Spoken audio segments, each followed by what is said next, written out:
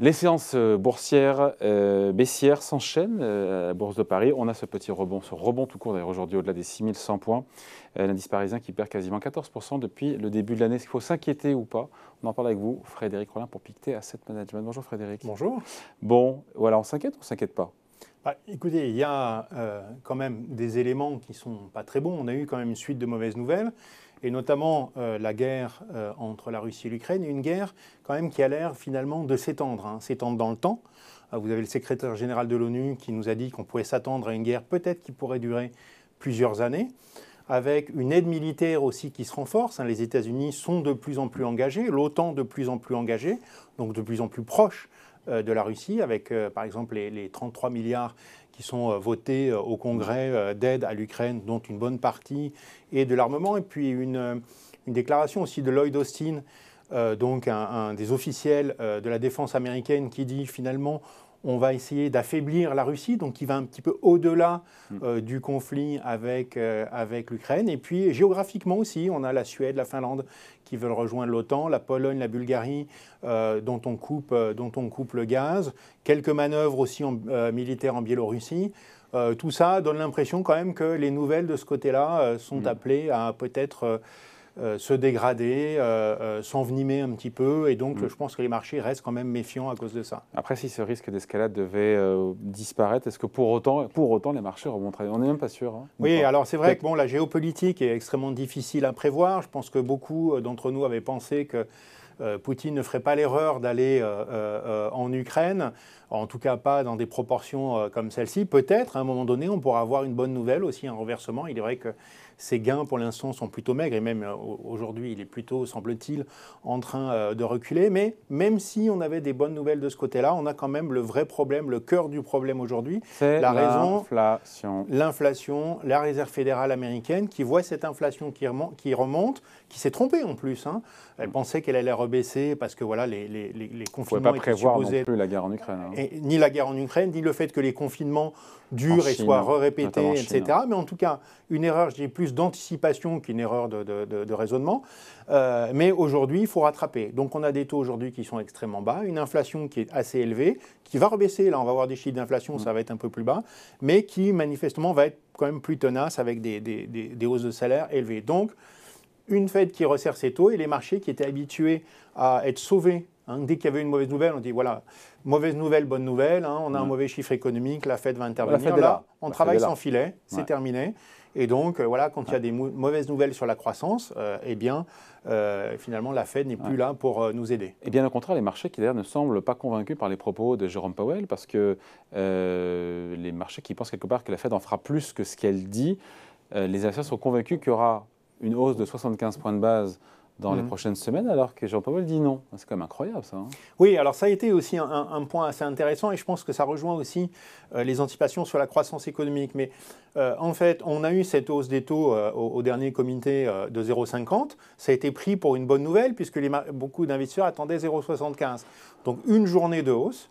Et puis derrière, les anticipations d'inflation remontent. En fait, Jérôme Powell n'en fait pas assez hein, pour beaucoup d'investisseurs. Donc, il faut qu'il remonte ses taux plus euh, qu'il ne le dit, sinon euh, eh bien l'inflation va euh, perdurer et durablement atteindre la croissance. Donc on peut d'ailleurs commencer à se poser la question, c'est un peu tôt aujourd'hui, mais si Jérôme Powell mettait vraiment en place une politique ultra restrictif beaucoup plus rapide, allez, une hausse de taux de 0,75 ou 1%, la réaction des marchés, on pourrait avoir un 10 ans américain qui arrête de chuter et même qui se renforce et des marchés qui le reprendraient Pourquoi relativement qui arrête de chuter? Parce que là, il est comme très haut, on est à 3,10, 3,20 sur le 10 ans américain. Bah, on est à 3,10, 3,20 sur le, le, 10 ans américain, mais aujourd'hui, tant que euh, les, investisseurs pensent que euh, l'inflation est en train de s'ancrer dans les mentalités, les anticipations d'inflation remontent et, que la Banque centrale américaine a non seulement fait l'erreur de ne pas remonter assez tôt, mais en plus ferait peut-être l'erreur de ne pas remonter assez vite, eh bien 3,20%, c'est euh, probablement encore insuffisant. Il y a un mauvais momentum. Et c'est ça aussi un peu qui pèse sur les actions, c'est que euh, au fond, on a eu quand même un crack sur les, euh, sur les obligations américaines, avec toujours pas véritablement d'acheteurs. Et puis les actions, finalement, elles n'ont pas craqué, elles ont juste corrigé. Mm. Et donc on a un décalage de valorisation entre des marchés obligataires qui commencent à devenir intéressants, mais des marchés actions qui sont encore chers et qui en plus on avait parlé d'inflation dans la première partie de l'année, maintenant on va parler de baisse de la croissance. Hein. C'est-à-dire que l'inflation est en train de mordre sur le pouvoir d'achat. On voit eh bien, les anticipations de consommation qui commencent à se, réduire. Les marchés en ont-ils véritablement pris compte? Euh, C'est pas sûr.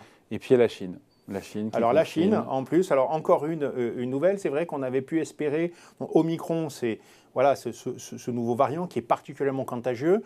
Et donc, on, pouvait se dire, voilà, la politique zéro Covid est peut-être inadaptée. On l'a vu euh, en, jeu à Hong Kong et ça a été un échec, hein, puisqu'à Hong Kong, on a eu une flambée euh, des, des, cas de, Covid, malgré les, confinements et aussi des problèmes dans les, dans, les, dans, dans les hôpitaux. Donc, on pouvait se dire, ben, peut-être la Chine va, enfin les autorités chinoises vont adapter leur politique. Non. Et non.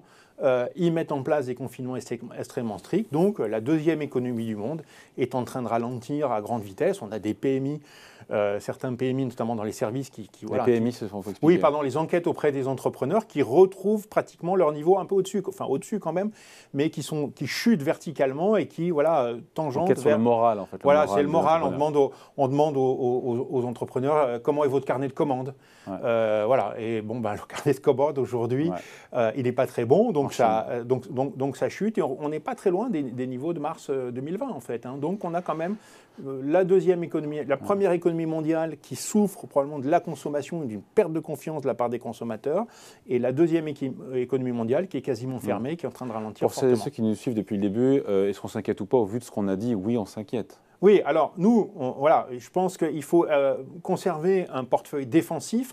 Maintenant, voilà, est-ce qu'on est qu'on s'attend véritablement euh, voilà, à, autant de baisse Non, probablement, on a quand même vu une grosse partie euh, de la baisse, encore un petit peu, mais il y en aura encore un petit peu, mais on a vu une grosse partie de la baisse. Pour, pour, pour quelles raisons D'abord, on a eu des mauvaises nouvelles, mais il y a quand même un bilan aujourd'hui des ménages et des entreprises qui est plutôt bon.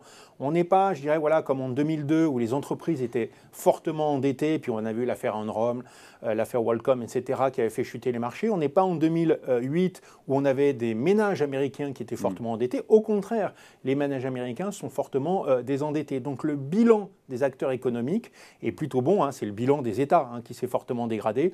Et celui-là, ma, ma foi, il continue d'être financé, le cas échéant, soit par les investisseurs, soit par la Banque centrale. Donc il y a quand même un, bon bilan. Et puis attention. Donc qu'est-ce qu'on fait? On panique pas On vend pas tout Alors nous, on reste plutôt sur les secteurs. On continue d'acheter le dollar. Euh, qui est une défense. On est plutôt sur des secteurs défensifs, donc peu sensibles à la croissance, à la croissance économique, comme le secteur de la santé, par exemple. Euh, voilà, on, va éviter les secteurs qui sont trop euh, cycliques et on commence petit à petit à se réintéresser à certains secteurs de croissance parce que peut-être que la prochaine phase, après cette phase de baisse, prochaine phase de marché, c'est la Fed, peut-être dans deux ou trois mois, qui va nous dire Ah, je note que l'inflation rebaisse. Et donc, finalement, j'ai fait mon job et je vais ralentir un petit peu. C'est quelque chose qu'il ne faut pas exclure. Et donc, commencer à regarder certaines valeurs de croissance qui ont été très, très fortement décotées, qu'on achète aujourd'hui à des multiples, voilà, comme si ce n'était plus des valeurs de croissance du mm. tout. Hein. Aux États-Unis, vous avez des grandes valeurs comme Meta, Alphabet qui, qui cotent en termes de multiples en dessous des services aux collectivités locales. vous voyez, c'est voilà, bon, les gens ne s'y intéressent plus. Peut-être commencer, alors il va falloir souffrir peut-être d'un petit peu de volatilité à court terme si les taux continuent de remonter, mais sur un horizon de 12 mois, ça commence à redevenir intéressant. Voilà, merci beaucoup. Point de vue signé Frédéric Rollin pour Pictet Asset Management. Merci Frédéric. Merci. Salut.